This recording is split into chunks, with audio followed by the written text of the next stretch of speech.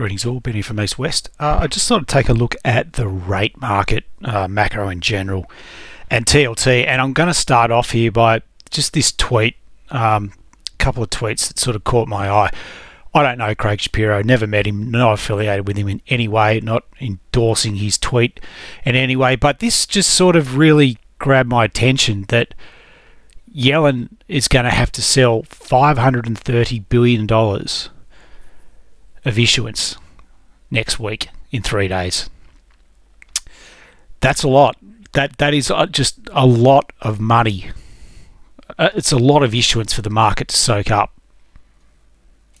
And this is just a second one that that came out uh, this morning, my time.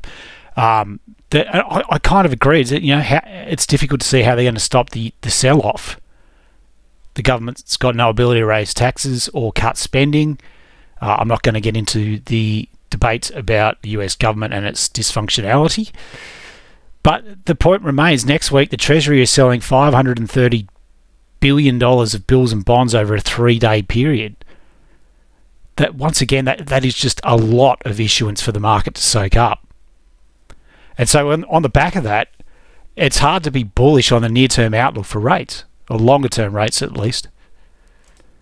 So that leads me into TLT. Just looking at it monthly here. I mean, you can see that we're getting pretty close to basically, as far as this data goes back, what's effectively the all-time lows. I mean, we're careering towards it. Now, the question is, of course, are we going to go through it?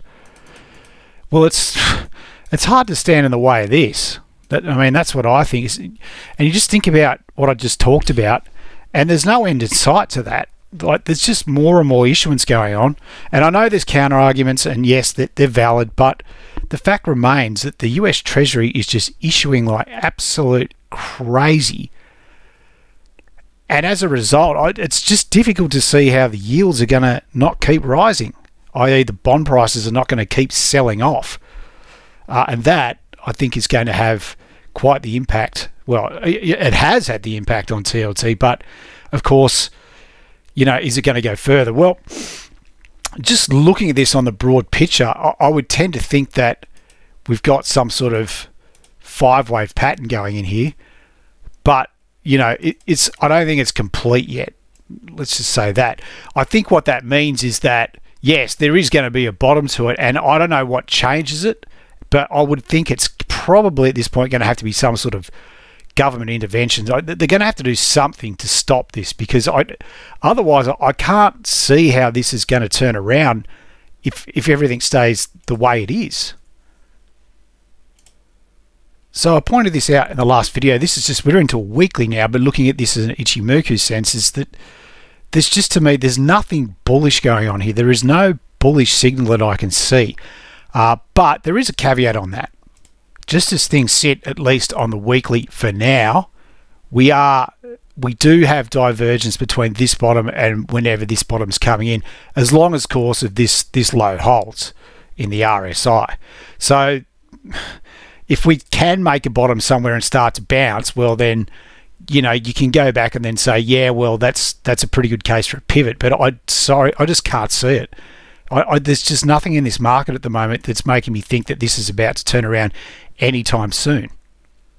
Now, just looking at this in a, in a cycle perspective, we're, we're, at day 46 of this latest cycle, as far as I can ascertain. So, I, you know, it, this this is daily cycle four that, that we had coming in here, and then at the moment we're on day 46 of the next cycle. So, these cycles in, in TLT tend to run quite long. So, even in a cyclical perspective, there's still nothing here for me to suggest that we're we're at a turning point. I, I think there's there is more to go to the downside. I'm if you're long and holding, I, mean, I, I don't know what to tell you. I, I can't see anything bullish in this chart whatsoever. I mean, the only thing I can see is that, you know, there are some, some gaps here that, that might need to be filled, but it, it, it could be just a really long time before we're in a position to come back and fill these. This is just so weak. Um, it I, I wouldn't buy it with Putin's money. Put it that way. I just I can't I cannot see a bounce coming anytime soon. We're gonna. It's like I said. I, I think it's going to be have to be some sort of government manoeuvring, some sort of government intervention in in the bonds to to to halt this slide. Now, it, could be that rate cuts are coming soon, and, and we'll have a look at some connotations of the curve with that. But just as things sit here and now, this I, I cannot see any rally coming here anytime soon, unless something changes dramatically. Now, just over here on the 10-year yield chart. Now, all's not lost because we still do have the possibility, and it, you know this is obviously just mirrored uh, in TLT. We do have still have the possibility that we, we can diverge, but once again, I, I just can't see any topping action here at the moment. I, I, I cannot see anything that's warning me that this run in the yields is over. I, I, I think 5%, I think that's almost a given at this point. But, you know, I, I would say that even though it's a little bit fluky, that one, two, three, four, that we, we're coming up to get a fifth wave. Uh, that the rates, of course, will top out at some point because I don't think this can go on forever. This has got to stop one way or the other. Something has definitely got to change here, but I don't think we're at that point yet. I, I just I, I can't see it. Now things are a slightly different picture to me, at least on these two-year yields up the front, where you could kind of make the argument that you know we're beginning to really start to wedge in here, and that these things uh, are out of puff. And I pointed out in the last video, the RSI is telling us that you know that the, the two-year yield is is really starting to battle to go any higher. So you know that that just reiterates the point that I made last time about the steepening of the curve and, and what that means going forward. So, you know, this this sort of wedge is probably something to keep keep your eye on. Um, but you know, those longer term yields that, they just look like they're going to keep rising for now, at least. Uh, you know, maybe you could incorporate some of that. Uh, but you know, we are starting to pinch in here on, on to me what looks like a potential top, uh, but we're not there yet. But we are definitely struggling around this five percent mark. You can just see that it's you know it's it's very very clear here that the, the market is just battling away here. It is just battling every time it gets to five percent. Like it's it doesn't want to be up here uh, to me at least. I think it's just signaling that it's had enough. But what that brings us into now is a very very dramatic steepening of the curve of the two tens curve, and right now we're we're right on the area. Now, what's really grabbed my attention about this on a weekly is that the close this week has produced a cloud break. Okay, so I sort of said the last time that I, I thought that the, the, the the flattening had finished. I mean, maybe that's stating the obvious, but this cloud break to me is really starting to tell me something. So I think what this would suggest is that rates, at least the front end rates, are going to have to get cut, and maybe that's part of the government's or, or the Fed's response to what's going on, that the rates are going to have to get cut, but we're not there yet. Remember that when we look back through history, the curve will steepen a lot, uh, will steepen, and that the rates tend to get cut something like six six odd plus months after the steepening begins. So you know maybe you could say the steepening began here in July, so it may not be until the end of the year where we start getting rate cuts and this will accelerate on. But this is definitely a warning shot that the market's not happy. The market's sniffing something out that, you know, there is a there's a problem. I mean, we know there's a problem. Everyone's known there's a problem for a long time, but it just feels like the chickens might be coming home to roost here. And this curve is really starting to tell me something, especially now we've got this weekly cloud break. So this is just the 10-year note futures, and in a similar vein to, to TLT, we we're, we're coming down here to some really crucial areas. I mean, we this we haven't been this low for you know the last time we were this low was was 07. So you know this is a dramatic sell-off. It's the it, but like I said, I, I think that the chances are that you know this is looking extremely light, five waves down, and we could be getting closer to this finishing. Now, if it finishes, I'm not going to read that that means that the rates are going to go to this. You know, they're not going to go parabolic. Uh, I think it'll be more a, a, gradual move back up. But like I said, I that that's in the future. I, I can't see the bottom of this right now. I, I there's nothing here to tell me other than that there's a couple of things like the RSI is starting to diverge away. So maybe the bottom's close, but I'm not seeing any immediate. This this is a monthly too. Remember, I'm not seeing an immediate candle or candles. Bring this into a weekly.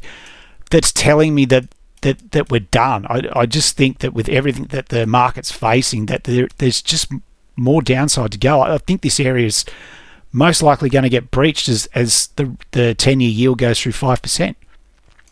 Now, when we just turn our attention to the, the dollar index, I mean, this is getting interesting because this sort of candle here, that to me is a, is a shooting star on the weekly, and it just touched the 50. So I, I don't know.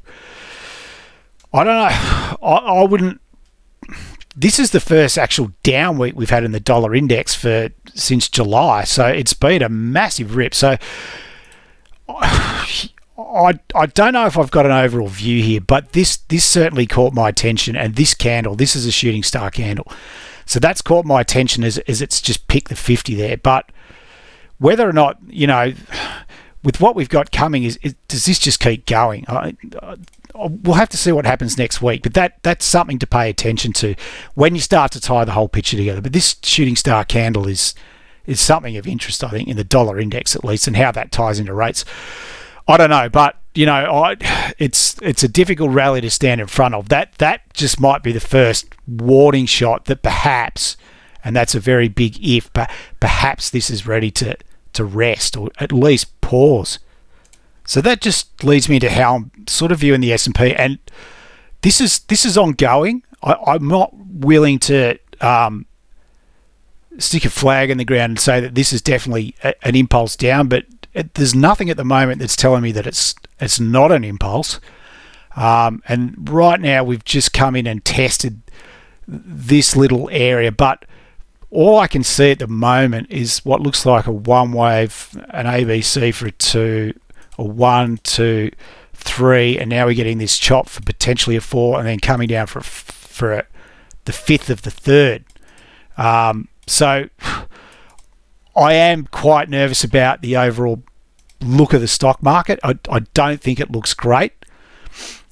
If we start clearing these areas and we kick on, then all good and well. But we know that we we've lost this overall trend channel now, and we're just sort of testing it we're just going through a period now where we're testing it, but I I can only see more downside, and that's the S&P. I, I think the Russell looks even more dire.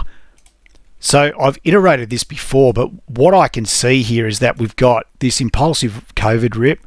We've had a, had a wave down. We've had a flat triangle here, and that it just to me says that we're going to get another big wave down. So I don't know if that means that everything crescendos when when the rates absolutely top out.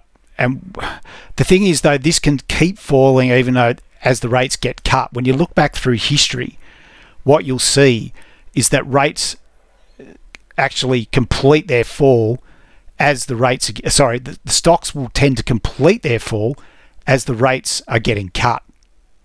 So just when you have a, a quick flick back through history, and this at the bottom here, this is just um, the US cash rate. But what you can see here is rates got cut, even though here we, we were still trending down, but rates got cut. It wasn't until they got to the bottom that, that the stock started rallying. Um, now here you can see rates got, got tightened, but the stocks kept going. That's, but here's an example. The rates got cut, but as the rates got cut, the stocks kept falling. I mean, that's the GFC. But even here, rates got cut, but this was COVID, so that's a little bit different. But the point being is that I think what you'll find as the rates get cut, the stocks will continue to fall until a point where the rates get low enough to make fixed interest less attractive, at which point we'll, we'll get the rally again. But I don't I don't think we're there yet. Th this sort of thing is probably more pronounced when you look at say the Dow or the S&P. I'm just looking at the Russell primarily because I think that the structure of the Russell and, and what I mean is when I go back and talk about this, looks a lot clearer than perhaps the S&P does. And so finally, we just think about, well, okay, uh, are we just going to come down here? Are we going to go through the point where the market's considered in a correction, which would be 10% off the top. I think personally that this is going to get breached, but whether or not we, we fall 20%, which would be here, I, I think that is open to debate. It cannot be ruled out, but you know that that would constitute the bear market line, which which is is nothing more than than 20% from the high. So that is a long way off. I'm not willing to sort of say that that's what's going to happen because I wanted to focus more on the rates. But I think the one thing that we can just garner at the moment is that the yield on this on this 10 year uh, 10 year bond is not stopping. It is there's nothing telling me that this is about to roll over.